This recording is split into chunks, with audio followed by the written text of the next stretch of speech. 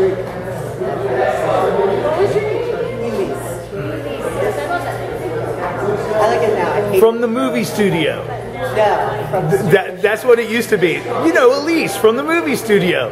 Not anymore, huh? School of Hard Knocks. Hey, hey, tell me what happened with uh, with uh, the acting game.